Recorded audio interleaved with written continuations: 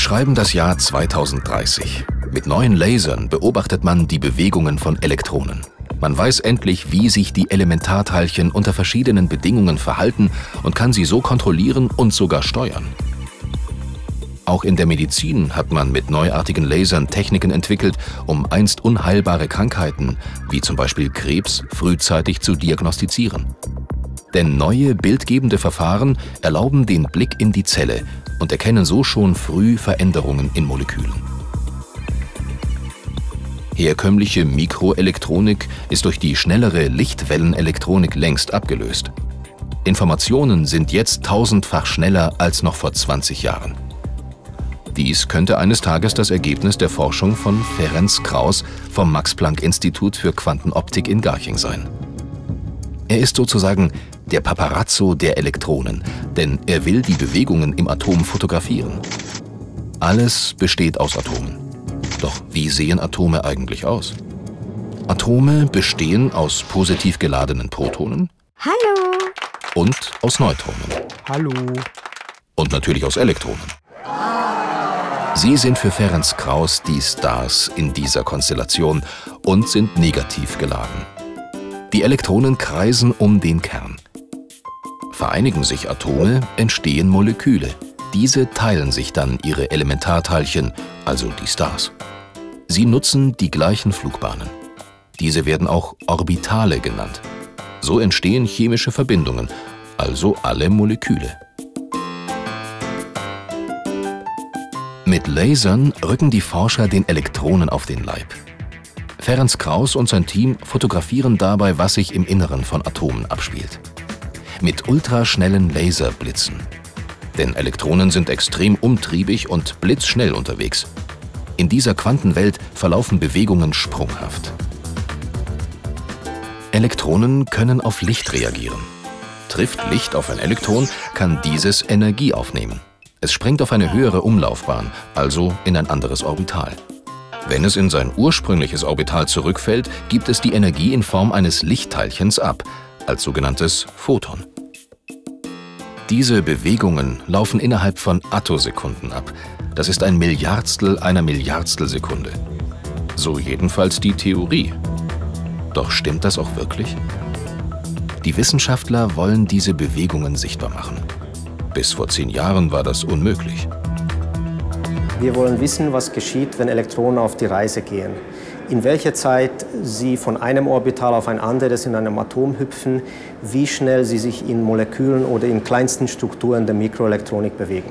Genau das ist das Ziel der Attosekundenphysik. Doch die Bewegungen der Elektronen sind extrem schnell. Ihr Verhalten können die Physiker also nur sehen, wenn sie genauso kurze Kameraverschlusszeiten entwickeln, wie die Sprünge der Teilchen dauern. Sind sie zu lang, ist das Objekt bereits aus dem Bild verschwunden oder sehr verschwommen. Je kürzer die Blitze sind, desto genauer lassen sich Bewegungen scharf und unverzerrt beobachten. Und das wollen sie schaffen. Für die Forscher heißt das Attosekunden schnelle Lichtblitze. Das ist eine Zahl mit 18 Stellen hinter dem Komma. Das ist genau die Zeit, die Ferenc Krauss braucht, um die Bewegung von Elektronen festzuhalten. Die Herausforderungen auf dem Weg dorthin? Sie lassen sich in zwei Phasen unterteilen. Phase 1 Attosekunden Blitze erzeugen. Ultrakurze Blitze hintereinander, 3000 pro Sekunde. Doch wie soll das gehen? Der kürzeste Laserpuls, den man bis vor kurzem erzeugen konnte, war tausendmal länger als eine Attosekunde. Dann die Idee. Mit einer eigens dafür gebauten Attosekundenkammer könnte es klappen. Wir waren viel zu langsam und haben die Elektronen in den meisten Fällen verpasst. Deswegen mussten wir kürzere Pulse erzeugen, um sie einfangen zu können. Die Idee war, Laserlichtblitze zu nehmen, die aus einer einzigen starken Welle bestehen. Wenn man mit solchen äh, Lichtblitzen Edelgasatome beschießt, wird das am schwächsten gebundene Elektron des Atoms durch das starke Feld vom Atom losgerissen. Wenige Momente später dreht sich die Richtung des Feldes um, schleudert das Elektron zurück in die Nähe des Atomkerns. In diesem Augenblick äh, gibt das Elektron seine Energie ab und sendet einen Attosekundenblitz aus. Übertragen bedeutet dies folgendes. Die Elektronen selbst sorgen dafür, dass es klappt. Durch das Laserlicht wird ein Elektron beschleunigt und für kurze Zeit aus dem Atom katapultiert. Beim Zurückfallen emittiert es Licht, und zwar in der Zeit von Attosekunden.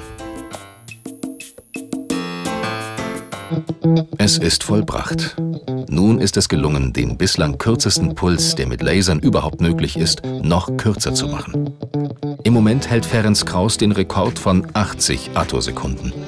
Das hat ihm einen Eintrag im Guinness-Buch der Rekorde eingebracht. Damit ist er der schnellste Fotograf der Welt. Wir mussten nicht nur den Blitz erzeugen, das war nur der Anfang. Wir wollen mit diesen Blitzen auch experimentieren. Nun folgt Phase 2. Das Experiment. Die Attosekundenphysiker wollen wissen, was passiert, wenn ein Elektron aus einem Kryptonatom geschossen wird. Die Forscher geben unterschiedliche Lichtblitze hintereinander auf eine Probe. Dabei schießen sie ein Elektron aus dem Atom heraus. Der Attosekundenblitz fotografiert dann, wie sich die übrig gebliebenen Elektronen bewegen. Man kann sich das so vorstellen. Licht ist Welle und Teilchen und Energie. Die Bowlingkugel stellt Lichtwelle und Teilchen dar. Die Elektronen zu treffen ist das Ziel. Erst wenn die tatsächlich rausgeschossen werden, hinterlassen sie einen Hohlraum im Gefüge. Das könnte zur Folge haben, dass sich die Verteilung der Ladung im Atom ändert, denn negativ geladene Elektronen fehlen ja nun. Und was genau passiert an der Stelle, aus der sie rausgeschossen wurden? Diese Fragen konnten die Physiker ebenfalls beantworten. Mit diesem Experiment ist es zum ersten Mal gelungen, Vorgänge tief im Inneren eines Atoms aufzuzeichnen. Mit Hilfe von Licht ist man in der Lage, die schnellsten Vorgänge in der Natur zu erkunden. Wir können äh, die Bewegung eines Hohlraums im Inneren eines Atoms innerhalb von Attosekunden beobachten und sehen dabei, dass sich dieser Hohlraum sehr schnell bewegt. Das ist für unser Alltagsverständnis zunächst einmal sehr ungewöhnlich, dass sich sogar Leere bewegen kann. Genau das sehen wir in dem Experiment. Licht ist die einzige Kraft, die ihre Richtung ebenso schnell variieren kann, wie Elektronen ihre Positionen ändern. Damit wird Licht zum Werkzeug des 21. Jahrhunderts für Medizin, Biologie und Informationstechnologie. Durch besseres Verständnis der mikroskopischen Elektronenbewegungen können wir eines Tages neue Substanzen entwickeln, neue Medikamente, wirksamere Medikamente entwickeln, die Entstehung von Krankheiten besser verstehen und die Elektronik einige hunderttausendfach schneller machen, als sie heute ist.